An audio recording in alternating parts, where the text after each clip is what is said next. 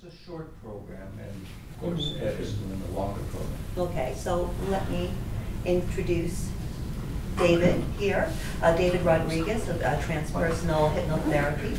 Transpersonal means the crossing of body, mind, and spirit. It assumes that humans operate on all three levels, or that the mind, body, and spirit of an individual affect each other. And uh, Dr. Rodriguez is a PhD. He's a certified transpersonal master hypnotherapist and a published author who is going to donate a signed copy to Let me write that ASPH down. Library. David, won't you please come up? Oh, thank you. And uh, introduce. Thank you. Uh, transpersonal hypnotherapy is transpersonal approach emphasizes, implies that mind, body, and spirit affect each other, in which hypnosis is the catalyst, or through hypnosis is the vehicle to alleviate and reach an answer as to that emotional psychosomatic Ill- illness issue. So rather than go on into giving you further definitions of transpersonal hypnotherapy, I like to bring into present, into live cases, and how we I have gone forward with the client in working the issue he or she had when it came to me, and I address it through hypno, transpersonal hypnotherapy. For instance, I get a call, the lady calls and says, "Can you help me with stress? Um, I have a very stressful life." Obviously, I said yes. Over the phone, I went forward and I did the clinical intake. I took all the information that I I felt it was necessary. We set up an appointment. When she came in, we went and did the typical induction and so forth and so on. And once I had her at the level that I could begin working, establish one of the things in transpersonal hypnotherapy is read the person's energy fields, which is also known as the chakra fields. In doing so, the hypnotherapist, the transpersonal hypnotherapist, should be able to pick up any part of the body that has either illness or disease. Well, I pick up the liver. The liver is a recipient of anger. So I asked the client, Are you an angry person? And she said, Yes. And then when she went on to tell me all the issues in her life at work, where her co-workers, where her friends and family. So what do you do then? You don't do a, a guided meditation, a, uh, a script, and saying you become a happier, freer person. You got to get to the root of the issue, and that is done through that modality of transpersonal hypnotherapy. So you take her to the source of it. What happened? We needed to go to a past life, a previous past life, where she died at a very young age of an accident. And her dying moments, she was very angry. Why do I have to die so young? She was very angry and she took that energy with her when she died. One of the things that we learn in transpersonal hypnotherapy is that when I die, whatever is in my mind, whatever energy, emotions I have at that moment or during those final moments is what I'm going to take with me as a residue. And that's what she did. She had that residue that created all that anger part of it. Because also complementing that, there were the anger of childhood, of a parent that was very physical, abusive with her. So in, in doing the transformation, the healing through transpersonal hypnotherapy with the client, the anger was dissipated. We clear the residue, we bring, that creates a void. That void is filled with love, and anything else, I ask the client, what would you like to bring in into your heart? And whatever he, she tells me is what I bring into that person's heart. to fill the void that now we took out that negativity from that anger. Now we'll fill it with love, joy, and whatever else the client wants. Another, another uh, client calls and says, tells me, all my life I have been very dysfunctional. Can you help? Obviously, yes. Go into, again, the, the typical process, have her read the, scan her energy fields, her chakra. Well, it turns out that there's an attachment, also known as, um, what is it they call in the Christian world? Uh, entity you're talking An, about? an entity, an attachment, a possession. Well, that attachment has been with her all her life, since she came to this present life. Well, how that happen? And going back into when that energy first came into her being, you have to go back 900 years. It had happened at a time when she was being burned alive. And through her raw emotions, she opened up. And this entity that was earthbound joined her. And now in this lifetime, it manifested uh, a lot of things that we don't know why it happens, how it happens. I'm taking an educated guess that it is the time for her to release, that she will herself to release and let go. So in transpersonal hypnotherapy, we work with the higher self, her higher self. One of the things that I establish is if a person has any kind of faith, belief, religious belief. In this case, she did. So I work with belief system and bringing in, in addition to the higher self, angels, archangels, and we do the. It took me two sections to get rid of that entity. Very aggressive. Usually one section. This one it took me two sections. Well, once she was, once the entity was released and let go, send it to the light. Then again, we bring energy that is of love and whatever else the client feels that he or she wants. And all this is done through transpersonal hypnotherapy. This, when when this person came in being very dysfunctional all her life, what kind of script would I give her or give him? Just visualize being happy, being very functional.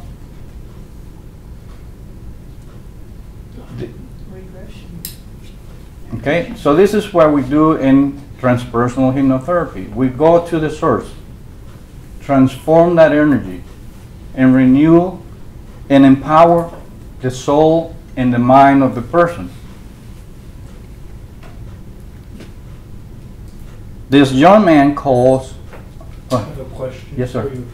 Uh, I've become more perceptive when reading people, and I won't necessarily try and describe how I do it.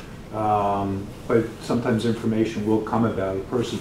You mentioned your two cases, the first one, uh, you somehow were able to perceive with the chakras or the liver being dysfunctional. The second one, you were able to perceive a- an entity attachment of some sort. How are you getting that? Is that just something that's coming to you? How, how are you picking that up? Um, part of, like, it's a gift that we all have. We just have to um, expand, and that is our intuition. So part of what I do intuitively is work with my intuition. So when you feel something there, you address it, you just go with it? I, I do both. Um, in this case,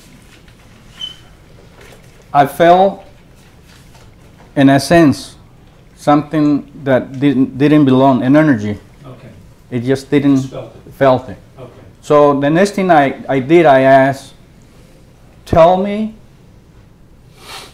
what color is your aura and how, how your aura's colors are. And then I expanded to double check, tell me what's in your heart chakra and your mind chakra and what color do you have. If any time it's dark or black, that's a conf- confirmation of what, what I felt, what I sensed. Then what I, what I did, now that I'm going to expand here, I addressed the entity. I asked the entity, you may speak through the client, let's say David. You speak through David, and then I asked the question, who are you? Well, you already have them in the trance at that Yes, oh yeah, oh, okay. oh yeah, yeah, it has to be. Okay. Yeah. Then I asked, who are you? How long have you been? That's how established that it was back in the 12th, 12th century. And ask other questions. Sometimes you will not get no response. right. Um, for instance, there's a case this lady that she she wanted if I could help her with her uh, relationships. She had she's a young lady. She had had two relationships that were very hard, but she felt that part of her problem was she was very uh, insecure. Um, again, she's already well under, and I asked, I felt, I felt uh, there's something here. Well, long story short, I established, again, there's an entity, an attachment. Uh, this is an attachment that joined her when she was 16. This young lady was playing with the Ouija board. And that entity had died here in Phoenix from an auto accident. It was a young soul. And when, when this entity joined her, it interfered with her two relationships. Often the entities will interfere with the client's life, as it was on this on the formal sample and on the, and on this one. Um, but it only took one section to send this entity to the light. Subsequently, um, session, we brought in this, the entity now from, from the light because she wanted to ask questions, who the entity was. We couldn't get that answers during that initial section where we sent it to the light. Will not tell us who it was. We got the answers once it came back from being in the light on the other side. And that's when we discovered that it was an entity that died in an auto accident, it was married, left a couple children behind, and so forth and so on. Um, what happens? What happens when when we do that? The person now, this lady, when she came back and I asked how you've been doing, uh, she says, you know, I've been kind of down, I've been kind of depressed. Well, that was as a result of not having that entity. It missed that energy. I I would expect that not be the case, and it surprised me. Anyways, yes, sir. You, you said the entity came back from the light? We call in a subsequent section, that's, I- and I mention this because one of the things we do in transpersonal hypnosis and hypnotherapy is be able to go to the other side. And, and one of the things, how I even relate this to, um, the, who's the gentleman that belonged to the association that is ill? That you Dan mentioned? Rice. Dan Rice. Dan Rice. One of the things we can do on his behalf uh, on a one-to-one sections or as a group section is go into um, uh, transpersonal mode and bring the angels, archangels, for those of you that relate to, or whatever entities, or whatever you believe, for those of you that have a belief system, and work with that energy and bring in healing. So will you do the guided meditation after you finish this? No, this will take time. It'll take This will take time, so um, no, I will do it, but we don't have time. I- It's a good try. I like forgotten. Yes. Question, is an entity always a negative? No. Not necessarily, right. An entity is a lost soul, like this, on this young lady, a young soul that didn't know what to do. Which we know that often what happens when we have tragic deaths, such as accidents, the souls remain earthbound. And that's what happened, but no, not necessarily, no. I have a question. Um, I've done uh, life between life sessions, and so often, you know, we've designed our life so that we can, you know, set ourselves up to learn certain lessons. Could that be, you know, letting an entity attach? Could that be part of a life lesson for both, or is that, I mean, have you ever encountered where that? um, Was an agreement, Right. a pre-agreement? I'm not aware. Okay. I'm not aware. Might aware. be something to investigate, because you're bringing something up that I was thinking of, because I do LBL work too. Um, I will take an educated guess on that because if it's interfering with my life, um, y- y- y- we come here to learn our own soul lessons to pay and reclaim, pay and reclaim karma. Um, and if I have an entity that interferes with my decision making in my journey through this life, I don't know that, that there will be a pre-agreement on that. So um, I don't know. I don't think so. Um, so this is all part of what we can do in transpersonal hypnotherapy.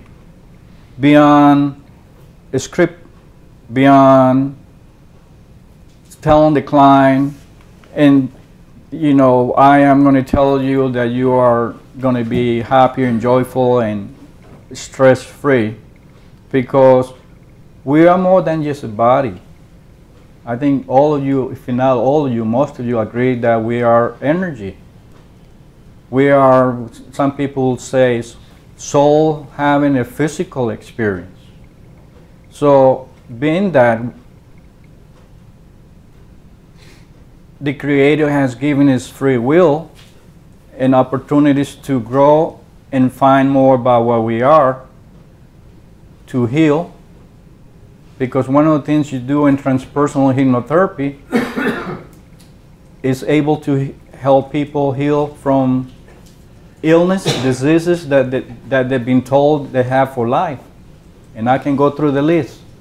And it, I will challenge you, anyone here that has a psychosomatic illness, one that is non organic, I guarantee you that if you wish, if you want to, you may heal. Any illness, which science will tell you 80% of human illness are psychosomatic. And by that we know that it's created by the mind. And as we create by the mind, we can heal it. Well, there's a tool where we don't have to go on for the rest of our life taking medication. We don't have to go to emergency clinics. We don't have to keep seeing doctors, psychiatrists, psychologists for, for years to come. We may heal. You don't have to see a transpersonal hypnotherapy. You can heal yourself. Yes. Would you mind just being, elaborating a little bit more about the chakra reading and how you do it? Okay, so once the person, obviously it's always, once the person is in the level of relaxation that it needs to be,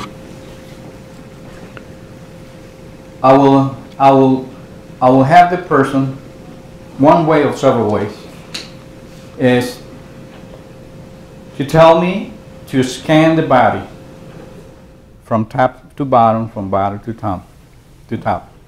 And as that is done, I, This is with the higher self. yes, as, as, as long the person is of a belief of higher self, because if I have a person which I have had a handful that are known agnostic perhaps, so all I ask them then is to tell me what colors you see, and then I tell them where to look.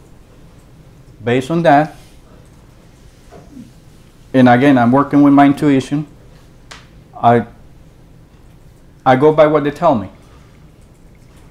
Anything that's dark, anything that is black, is illness, is disease, or is an attachment. As simple as that. There's no magic to it. There's nothing to it. So, having said that, what I'm telling you, what I do, is anything that you can do in your practice as well. Of course, it always comes down. Remember, all of us are can be a conduit for healing. All it takes is your will and the client's will to be well. That's all. It's our inherent right to heal ourselves. But what happens? The mind gets on the way. Our emotion gets on the way. So that's where a transpersonal hypnotherapist come in the picture. Would you like to add something, Louis? Well, um, let me give you a little case, just to get feedback. It's, uh, I have a gal who was uh, 17 years old, um, sexual preference, a sexual preference issue case. Um, believing she's lesbian, um, feeling, and she may have been hurt from some younger relationships with guys, but she's trying to maintain an open mind, to not be prejudiced by that, and trying to feel what's the right pathway for her sexuality. So, um, I'll get to the point. So I did a past life regression on Saturday. I've worked with her for a while on other stuff. Past life regression, uh, was kind of interesting. The first thing she went to was probably a futuristic life. Hmm. Um, she wasn't aware of that, but as she was describing, that's what it sounded like. And she was 18, she jumped off a balcony, killing herself, because she couldn't resolve the sexuality issue uh, that was haunting her. Uh, then I got her to go to some past lives. One, she was a man. She, he got married, had a family, but it wasn't really what he wanted. He wanted to have a, a relationship with, a, with another man, but he, he did his obligations, but then committed suicide driving uh, his car. And then there was another past life where she was a woman, again, not being fulfilled as a woman in that relationship, and again committing suicide. So there's a, there's a theme in this. so, and as I'm doing each past life, I'm go- I always do the process what lessons are you getting, what lessons are you learning. And at the end, I say, well, that future life hasn't, doesn't have to occur. I explain more to it. It doesn't have to occur that way, but you need to have that realization of where you need to go with your heart and your experiences in this lifetime to, to, to take that on.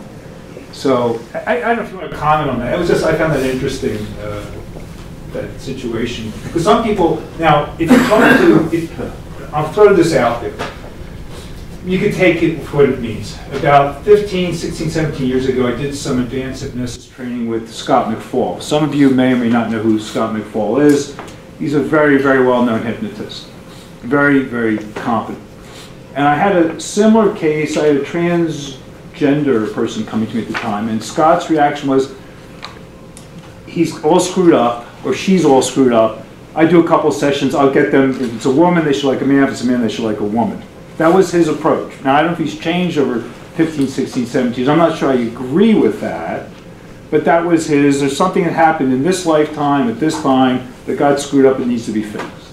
I'll just throw that on, I'll let you comment. Well, Or anyone else wants to comment, please feel free. okay, before I expand on that, Yeah. let's see if anybody wants to comment on that.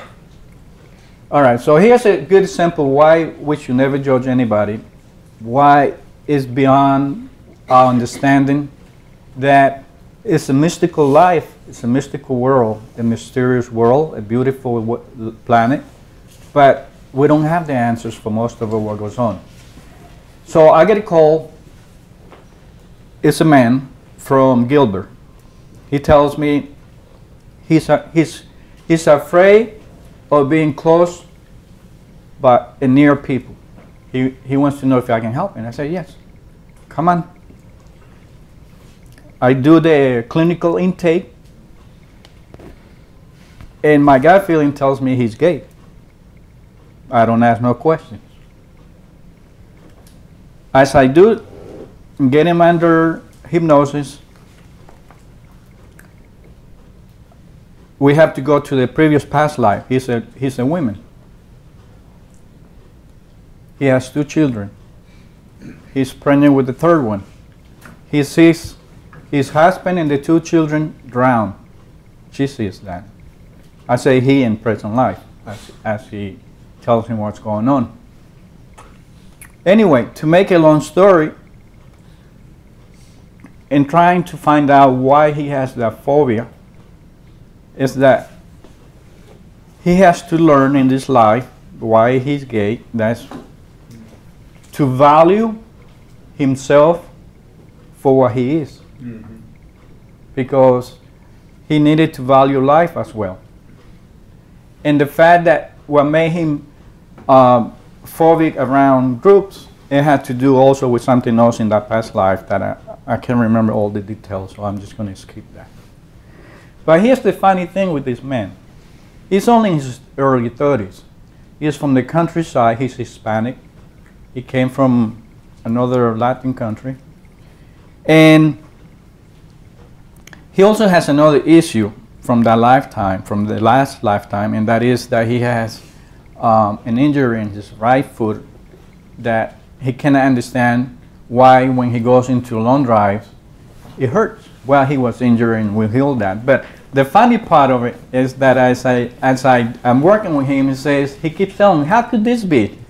How could this be?"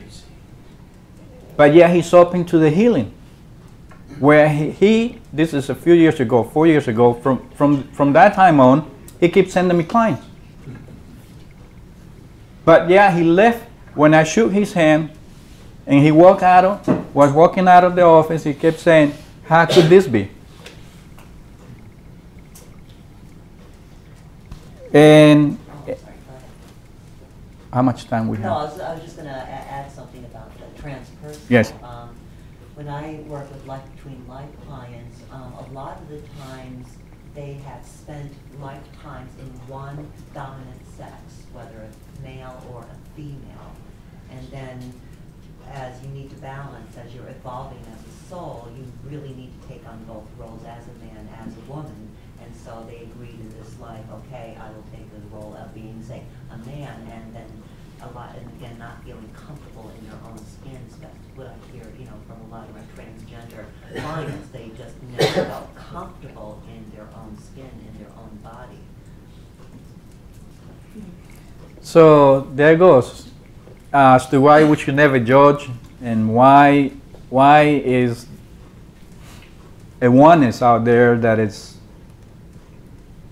to me as I try to think of a, of a creator in a universe in our mind, I can't go there. It gets too big.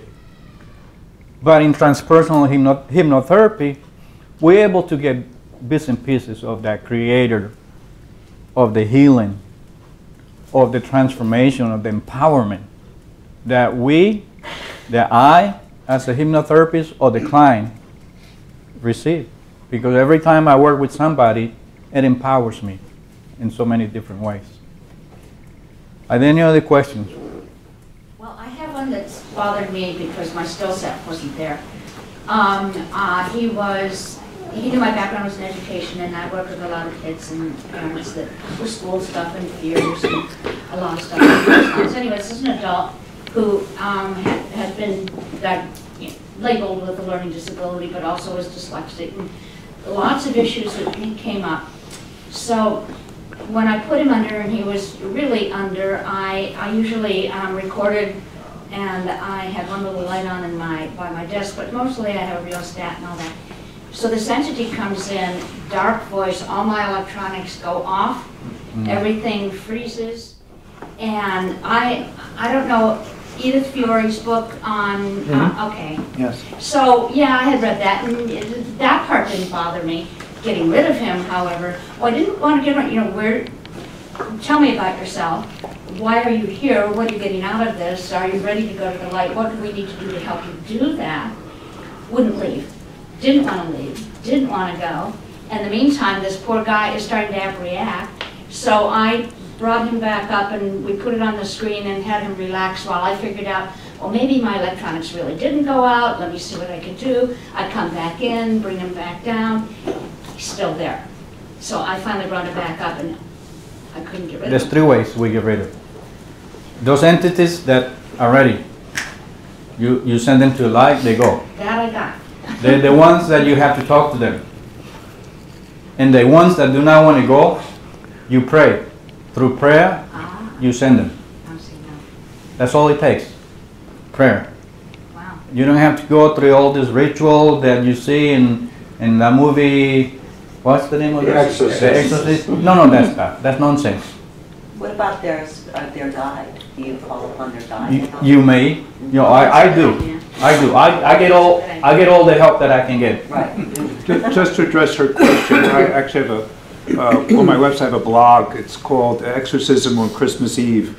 And I did this session on Christmas Eve, it goes back, I don't know, five, six, seven years ago. Same exact thing, my electric, electronics went, it was definitely a possession, it was a very challenging one.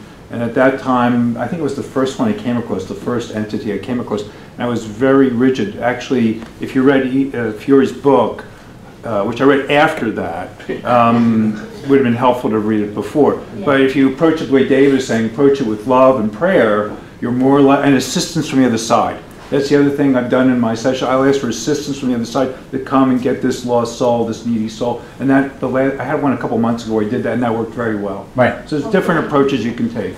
So quickly, uh, and, and speaking of electronics and all this stuff, I'm working with a client that, that it, the entity does not want to go. Um, I forgot that I, that I didn't shut off my phone. I pick it up and guess what I see on the screen? Dark. I s- kept, kept scrolling, darkness, darkness. So, I mean, if you ever had doubt, I don't know what, what else you need to see that there's darkness in, in also in life. So, one last comment and then I'm closing. Um, one of the things that I will, I might do in- with that young lady is also have her look at the options. Futu- Futuristic, Yes. look at her, okay, here is, if you go with your alternative in lieu of taking your life, what, what, what is your path? What, what are the results? What will be your soul lessons? Because one of the things that we find is that people that kill themselves have the tendency to create a pattern. Yes. That's what I found. And that pattern, and that pattern has to be break off like any, any other pattern that does not serve as well. Yep. So I think I'm going over my time, or do I have more time? You have five minutes. Five minutes, okay. Yes, So I did break that pattern. That's what I did with Wonderful. That's what you session. did. Yeah, Wonderful. that's There you go. Yeah. It sounds like you do this work in person, or do you do it on, on any uh, computer video equipment?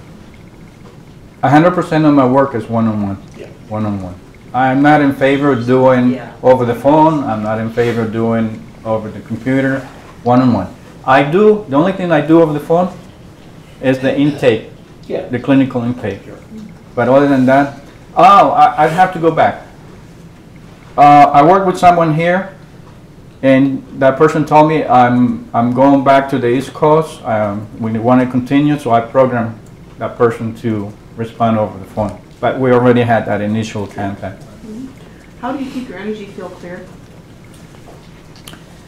I manifest that from this moment on, we're having to ask God again that I be always protected with the with the light or God in, in the Christ life, That I be surrounded, that I be protected wherever I go, wherever I am, at home, at work, in my car, and I release and I let go. And I put that in faith. And if I forget to do my protection, has never been a problem because I, I God only needs to be prayed once. God doesn't need to be prayed over and over over the same issue or over the same request. God only needs whoever God is to you, okay? God to me is oneness, a creator, one all, a group of energies that has created a universe and that has created us to evolve and become something down the road as energy.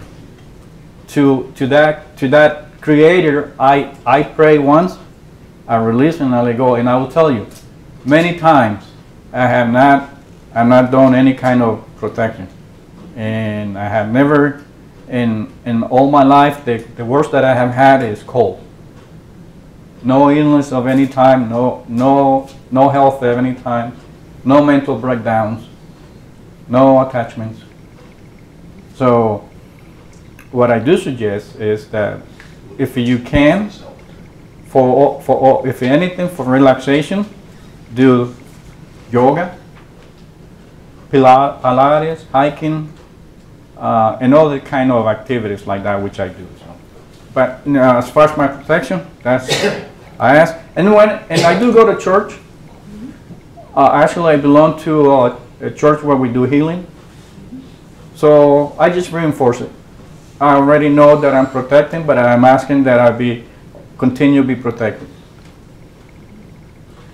One last question then. So uh, you always end up attracting the kind of, those kind of clients then? I mean, basically, you're like, you're telling yours, hey, bring me these clients because I can deal with this. And, and actually, I didn't ask for a specific client. Sure. That's what I keep getting. That's what the units will bring. Um, and that's what I get. Have you ever had a client who came in knowing that they had a, an attachment possession, whatever you would call it? Hmm. When it releases, are they certain that it has released? in many ways. Um, one of the ways is the life improved. Whatever issues they had when they came in, it, it goes away.